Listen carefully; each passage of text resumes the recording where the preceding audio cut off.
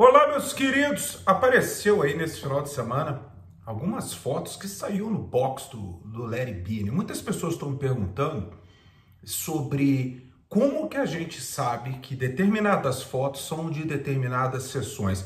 Eu vou explicar tudo para vocês hoje, porque que a gente chegou à conclusão de que as fotos que apareceram no Instagram, no Facebook, são as fotos de uma sessão obscura que muita gente não lembra, mas as sessões de janeiro de 1970, que foi a derradeira, onde que tinha os Beatles realmente tocando e desenvolvendo uma música. A gente vai falar sobre isso hoje e mais outras coisinhas. Meu nome é João Moura, essa é a Beatles School, vamos lá. Meus queridos, o que foi que aconteceu? Antes de acontecer qualquer coisa, meus queridos, ainda tem gente que até hoje vem aqui reclamar que ah, o seu áudio não está muito bom, a imagem não está muito boa. Meus queridos, eu tô cagando para isso. Se você, se você não tá satisfeito, cai fora. Eu acho que foi ontem ou anteontem, apareceu um cara falando que, Gilvan, você faz piadinhas demais. Ele elogiou, falou que meus vídeos são muito bem feitos, muito legais, mas ele não gosta muito das piadas que eu faço, né? E as pessoas mandam até vídeo, olha que cara de pau. Mas aquele Gilvan tá sempre fazendo gracinha, tá sempre querendo pagar de descolado, quer aparecer mais que os Beatles. Eu, sinceramente, eu, eu não consigo entender por que, que as pessoas não gostam das minhas piadinhas. Mas você vê esse sujeito aí, Marcelo Gross. O Marcelo Gross é um amigão meu grande e ele, ele, ele não gostou nem um pouco da, da, das críticas que foram feitas ao canal, né? Tô brincando, Gilvan, tu é meu ídolo e eu tô sempre aguardando os novos episódios do Beatles School e adoro o jeito que tu apresenta. É isso aí, abração, querido! Esse cara é gente boa demais, um grande amigo, o maior carinho que eu tenho por ele. Marcelo, um abração para você, meu querido. Mas, meus queridos, então vamos lá, o que foi que aconteceu? O que foi que aconteceu? Que as pessoas ficam perguntando, ah, como é que você sabe? Bom, vamos voltar, vamos fazer um estudo da, de 1969 até a gente chegar a janeiro de 1970, um estudo de que pelas fotos a gente sabe o que estava rolando. Quando eu era garoto, eu me lembro que eu, quando eu vi o filme Larry B e até mesmo as fotos do Larry B, e depois vinha o Abbey Road, depois o Larry B foi lançado depois do Abbey Road, aquilo me confundiu um pouquinho a cabeça, e eu vou tentar desconfundir a cabeça de várias pessoas aqui hoje.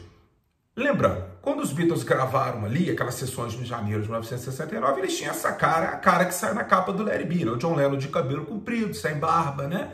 Ele ainda estava com aquela cara de álbum branco ainda, né? O Paul, barbudão com a barba cheia, isso é muito importante, o Paul com a barba cheia o George com um cabelo meio Beatle, lembra do, do, do, vídeo de Revolution, né? Que ele tava com um cabelo bem curtinho. Durante o álbum branco, o George teve diversos cortes de cabelo, e bigode, sem bigode, aquela coisa toda.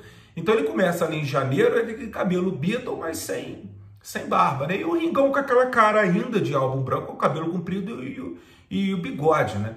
Então você tem isso dos Beatles quando acaba, quando você vai ver, quando acabar ali o projeto, que chamava Get Back, aquela coisa tudo, quando aquilo acaba, eles saem dali, o Ringo começa a fazer o filme com Peter Sellers, ou seja, no filme com Peter Sellers, o Magic Christian, ou Um Beatle no Paraíso, que foi o nome que colocaram aqui no Brasil, ele ainda tinha cara de Larry B, ele ainda tinha cara de Larry B. Então, com o andamento ali de fevereiro, o George chega a gravar três demos. O George grava All Things Must Pass, Old Brown Shoe e Something, ali em Abbey Road, né, nos estúdios da EMI ali né, em Abbey Road. E mais para o final do mês de fevereiro, eles se juntam, eles começam a gravar I Want You, onde que o Paul tira a barba. E o, Paul, e o John começa a ter uma barba meio rala. Né? Então, quando eles vão engatando ali, aí o que, que acontece logo depois? As únicas coisas que saíram ali do projeto Get Back foi que eles tinham um single pronto. Get Back e Don't Let Me Down dava para lançar como single. Tanto é que eles lançam, né? E a ideia era que aquela capa que hoje a gente conhece da coletânea azul, 67 70, aquela foto ali que eles tiram na, na varanda ali em Manchester Square, que era o, o headquarters ali da, da, da EMI, é, o John já estava barbudão, né? Mas não com a barba leonina, ele estava com uma barba, tipo a minha assim, né? Nem grande nem pequena. O George já estava com bigodinho de cabelo comprido, o Ringo ainda com aquela cara e o Paul já sem barba, né? E aquela foto, se eu não me engano, foi tirada em abril, mais ou menos. Então é com essa cara, é com esse visual que os Beatles gravam The Ballad of John Yoko eles gravam o Octopus Garden, né? E gravam também o um novo solo em cima da Master do dia 31 de janeiro de 69. Eles pegam ali no dia 30 de abril, é 30 de abril? Deixa eu ver. É, eles pegam ali no dia 30 de abril, eles pegam a Master, né, de janeiro de 69, de 31 de janeiro, e eles fazem um novo solo, George Harrison faz um novo solo e há alguns overdubs. Esse solo é, o Glyn Jones aproveitou para colocar no seu álbum Get Back e é o mesmo solo também que vai sair na versão de single dos Beatles lá em 1970, o que difere da, da versão do álbum, mas a gente chega lá. Então, quando os Beatles tinham esse visual, o que acontece é que dali eles vão para gravar o álbum Abbey Road. Durante as gravações do álbum Abbey Road, é, o John Lennon vai para a Escócia, ele sofre aquele acidente, ele já estava barbudão, ele sofre o acidente, como ele ficou com um rasgo aqui, ele acabou deixando a barba dele crescer absurdamente. E o George também, nessa época, começa a deixar o cabelo dele crescer. Né? O que causa um erro na, no entendimento de fotos que a gente vai chegar aí. O George tá com o cabelo compridão, de barba, né? O Ringo grava todo o Abbey Road sem barba, ele ainda estava de bigode, cabelinho, então vocês podem ver nas fotos aí.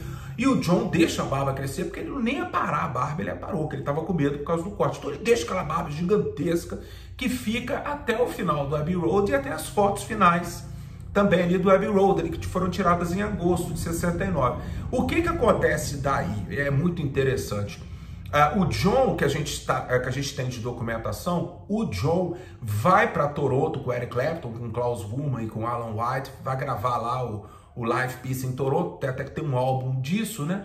E, e toca ali, aí o John com aquela barba grandona e tal, ele grava Cold Turkey junto com o Ringo e junto com o Eric Clapton e com Klaus Wurman e tal. O Paul, nessa época, há fotos dele chegando na Apple é, com uma barba já crescendo de novo. Lembra que ele tinha tirado logo depois do LB, ele já começa a deixar a barba de novo, a barbinha rala e tudo mais. O Ringo também, tem até foto deles aí com Alan Klein na porta ali em Savile Row e tudo mais. Só que daí, meus queridos, quando o John fala que tá fora, cada um vai fazer a sua coisa. Então, visualmente, o que acontece?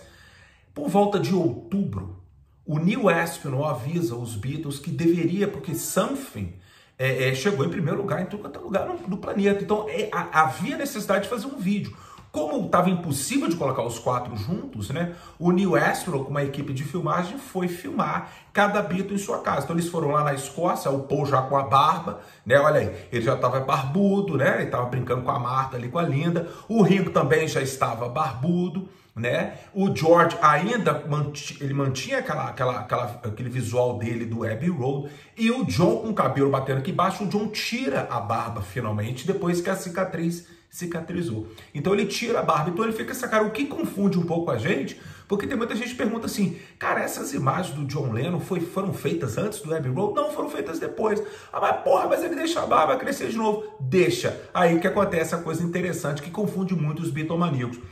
Pro final de 1969, o John deixa a barba crescer de novo. Ele continuava com o cabelo comprido, ele dá uma paradinha no cabelo, né? Mas ele deixa a, a, barba crescer novamente. Essa barba, ela jamais vai ficar grande, como foi na época do, do álbum Abbey Road, né? Mas ele vai ali, a gente tem registro dele tocando ali da, do, da, no festival onde que ele vai com Eric Clapton, com, com, com Keith Moon, com o próprio George Harrison, né? E o John joga aquela barbinha, ele, ele, ele recebe um prêmio lá de personalidade da década, e tudo mais. E isso foi em dezembro. O George, por volta, eu não sei te precisar que mês, mas o George, ele fica com o cabelo comprido, ele deixa só o bigode, ele sai em turnê com Eric Clapton, né? E, e, e com Delaney Bonnie, aquela galera toda, né? Que ajudaria ele depois, mais tarde, no All Things mas ele deixa só o bigodinho com aquele cabelo comprido.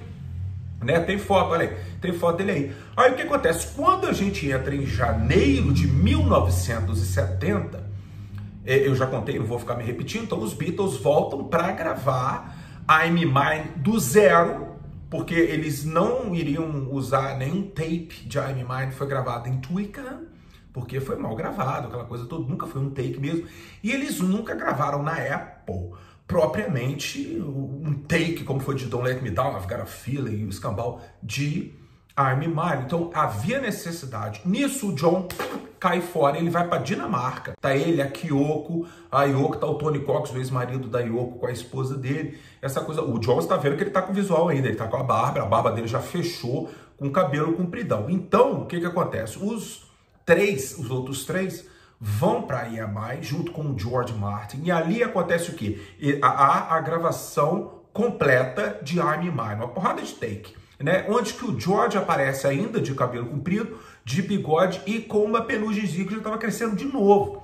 Né? E o Paul aparece como? Apareceu com aquela cara de McCartney, do, do, do álbum desde 1970. Então o Paul deixa a barba crescer de novo, o que confunde muita gente, porque como o McCartney e o Larry B foram lançados muito perto um do outro, a contracapa, olha aí, a contracapa do McCartney, o Paul tá barbudo, e na capa do Larry B ele também tá barbudo, as pessoas pensam que é na mesma época, aí confundia a cabeça de todo mundo. Então agora estou te desconfundindo. O Ringo agora, olha a foto aí, durante as gravações de I'm Mine, o Ringo já estava com cabelo comprido e barbudo. E não com cabelo um pouco mais curto, como ele estaria no, na contracapa do Sentimental Journey, que muita gente pensou que o Ringo já tinha virado em 1970 de cabelo curto. Não, tá? Eu mesmo pensava. E agora a gente viu aí no box do Larry B que não. Lembrando a você que o livro que vai vir, muita gente está me perguntando isso, o livro que vai vir no box do Larry B, ele não tem nada a ver com o livro Get Back, que vai chegar aí, que já chegou, né? Os, os gringos tudo já receberam, né? Não tem nada a ver uma coisa com a outra. Lembrando vocês, Get Back e Larry B são coisas distintas,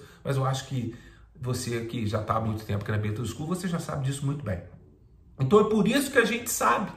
Né? Agora, apareceu uma outra foto, essa eu nunca tinha visto, que eu fiquei assim espantado, que está o Paul, a Linda, o George Harrison e o George Martin com o microfone meio, eles fazendo os backing vocals em Let It Be, né? Porque eles, eles removem, eles praticamente removeram o John Lennon de, da, da, da, gravação final de Let It Be, né? Porque o Paul faz um overdub do baixo dele, o Ringo também, um overdub de bateria. Dá para notar, se você agora que você já tem material, você pode escutar Let It Be do álbum Get Back, que já deve estar no Spotify, e depois você escuta as outras duas It Be oficial que você tem que é, é, tem a do álbum e tem a do single. E você vai ver que a, o baixo é muito mais elaborado, tem muito mais bateria, o Paul tocou percussão também. E logicamente os backing vocals são muito melhores, né? Eu fiquei sabendo, a primeira vez que eu fiquei sabendo que a Linda participou, se eu não me engano, eu posso estar enganado, mas eu acho que foi no Wingspan, aquele documentário do Paul de 2001, 2002, onde ele é entrevistado pela filha Mary, ele fala que a Linda participou dos back vocals de Larry B. Eu acho que foi ali, ou então foi algum livro que eu li, mas é, é, a Linda participou e agora a gente tem evidência física. Eu não sei ainda quem tirou as fotos. Eu vou ter que esperar meu, meu Larry B chegar para eu poder ver lá, né, o, de quem tirou essas fotos. Não foi a Linda, porque a Linda aparece. Apareceu também uma foto do George Harrison com a sua cassino já raspada. Muita gente perguntando, vai essa cassina do John Lennon? Não. Essa cassina é do George Harrison e ele raspou. É aquela mesma da turnê de 66, né? Ele raspa essa guitarra, assim como John Lennon, né? Apareceu também é, é, é, uma foto do George do Paul, né, e do George Martin vendo os metais que seriam colocados em Larry B. Então essas fotos, então por isso que a gente sabe. Você pode estar perguntando, João, mas como que o John era fisicamente neste momento, em janeiro, né? O John, como ele foi para Dinamarca, lá eu já contei essa história, ele doa os cabelos, ele é Yoko, para os Black Panthers lá, né? E aí o que acontece? O, o, o, o cabelo dele é leiloado, se não o cabelo dele até foi. As pessoas descobriram o cabelo dele há pouco tempo. Aí existe aí no cabelo, não dá para ter o DNA do John Lennon, para um dia a gente recriar ele. Né? E aí o John raspa e fica aquele cabelo curto. Tocou no, no final de janeiro, o John vai gravar Instant Karma, né? Já com o cabelo curtinho, de barba, né? E o George Harrison tá lá com ele, né? E é, é o que eu sempre falo com vocês, houve um... Alguma coisa aconteceu ali em janeiro, onde que o Paul realmente notou que né, o Paul estava muito deprimido, tanto é que nas fotos muita gente reparou que ele estava extremamente magro na foto, né? E com uma barba grande e tudo mais. Mas ele deve ter vindo da Escócia para ali gravar. E é o que é engraçado, porque muita gente adora criticar o Paul McCartney, né? Mas o Paul sempre esteve ali pro George em Something, Here Comes the Sun e I'm Mine. Já o John não, né? Ou seja, né, aí vai pela tua narrativa, não quero ficar falando mal de um dos Beatles, mas foi nesse momento que realmente, o, acho que o Paul notou que ó, acabou o Beatles mesmo, o George ainda participa de Instant Karma ali e tudo mais. Então é assim, através das fotos que a gente sabe o que, que estava acontecendo. Agora, para finalizar o vídeo, uma pergunta que muita gente me fez foi, Juvan, que, que imagem perfeita de Get Back, que coisa é isso, que trailer é isso? Vale lembrar a vocês, meus queridos, que quando o Larry B foi filmado, ele foi filmado com as melhores, com o melhor material que o Michael Litzenhawk podia usar, porque os Beatles deram a ele o melhor que ele podia usar. Então foi gravado em 16 milímetros, só que o que aconteceu? Como o Larry B, a intenção do Larry B chegou ao momento de que fosse para a televisão, como um documentário da televisão, e mais tarde, para poder fechar lá o acordo com a United Arts, eles falaram, não, não, o Larry B vai para o cinema, o que aconteceu é que o Michael Litzenhawk, ele teve que esticar a imagem, né? E por ter esticado a imagem, perdeu certa qualidade, ficou granulado, aquela coisa toda. E tudo que a gente tem de Larry B, que foi feito DVD, DVD não, nunca foi feito, que o, o Laserdisc, o VHS de Larry B, foi tudo tirado dessas cenas da, da, do cinema. Então, ou seja, ficou ruim pra caramba, porque era, era, era assim, ficou assim, depois voltou para cá e permaneceu assim. Tanto é que no Anthology no documentário Anthology há cenas da, da, da, época do Get Back, né? Aquela cena lá que o George Harrison não queria subir no telhado, que ele falou que não queria fazer o show, o Ringo fala que queria, lembra disso? Isso ali é a imagem perfeita. E também em 2003, com o lançamento do Let It Be Naked, foi necessário fazer vídeo, né? Então eles pegam várias cenas lá e fazem um vídeo completamente inédito pra gente na época, né? De, de Get Back, usando os originais, né? Então é por isso, o Peter Jackson, que é o diretor, ele é reconhecido como ele restaura filmes, ele fez um documentário sobre a Primeira Guerra Mundial que é, é de você, para quem gosta de, eu adoro documentários da Primeira e Segunda Guerra Mundial, eu tenho centenas de documentários aqui na minha coleção, é, ele limpou, ele tem esse documentário que é fenomenal, né? Então talvez tenha sido por isso, eu estava conversando com o grande Paulo Henrique Fontanelli, né, que, que foi aluno meu e é um grande amigo meu, ele foi ele que fez o, os DVDs lá da, dos Mutantes lá em Londres, né, da, da Cassia L, agora que está terminando sobre o, o, Legião Urbana, né? Ele estava me contando, me explicando isso hoje. Beleza, meus queridos? Um abraço imenso para você. Obrigado, Marcelo Gross, por ter participado da zoação de hoje. E é que eu falo para você, meus queridos, se você não gosta das minhas brincadeiras do meu canal, para de assistir, porra. Eu, eu não peço seu like, eu também não peço sua opinião. Beleza? Um grande abraço para vocês, vocês se cuidem.